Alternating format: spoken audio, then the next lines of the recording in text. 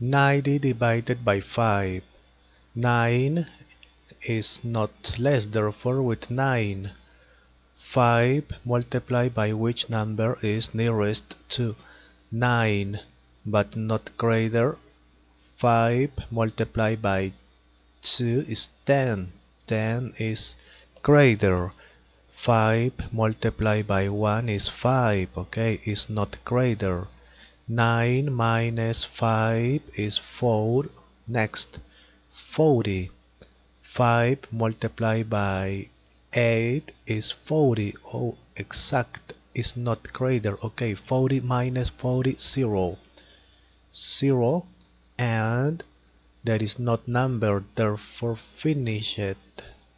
90 divided by 5 is 18 finish it.